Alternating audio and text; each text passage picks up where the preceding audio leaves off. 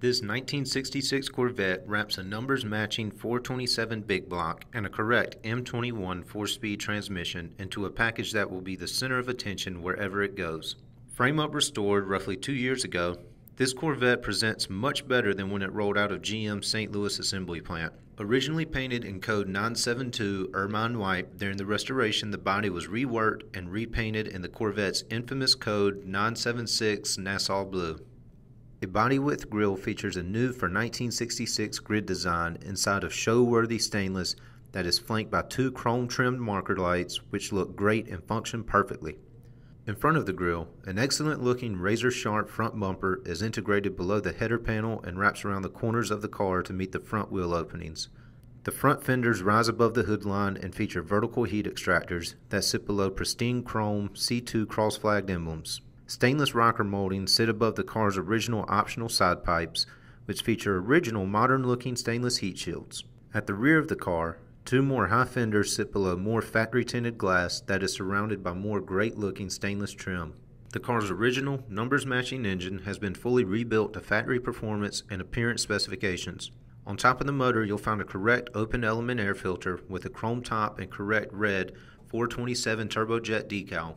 That, along with the stainless fuel line, feeds a modern Holley 4 barrel carburetor. The car's original winter aluminum intake sits on a correct Chevrolet orange block between correct Chevrolet orange valve covers.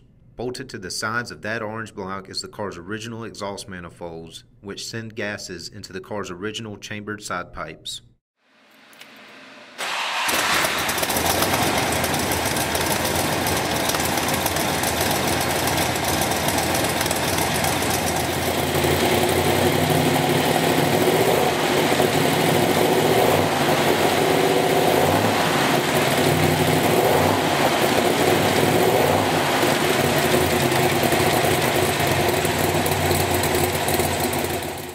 Behind the motor is a close ratio M21 Muncie transmission that sends power to a correct 370 Positrack rear end.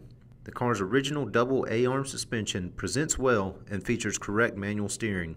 Out back, the car's original independent rear suspension features a transversely mounted rear spring and has been expertly restored. Rolling stock consists of 15 inch steel wheels with aluminum turbine style knockoffs. During the restoration, a dark blue leather interior was added to replace the car's original saddle colored vinyl.